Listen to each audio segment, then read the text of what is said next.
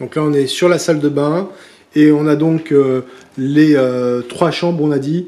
euh, c'est deux chambres. deux chambres, pardon, deux chambres euh, qui sont euh, distribuées par ce couloir.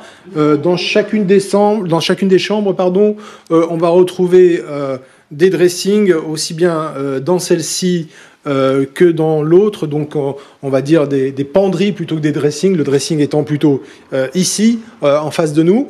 On va avoir donc cette cette partie-là, la, la, partie chambre. Ici va être avec un très très grand dressing et avec un point d'eau euh, ici euh, qui va euh, être en plus de la salle de bain que l'on vient de voir. Une Voilà. salle de bain euh, entière. Il y, a une, il y a une baignoire, Ah, baigno- baignoire aussi, pardon. Alors, je n'avais pas vu, excuse-moi, Cody. la douche. Ah oui, Elle donc on a un côté baignoire et pour ici, on a une douche, donc ça veut dire une salle de bain et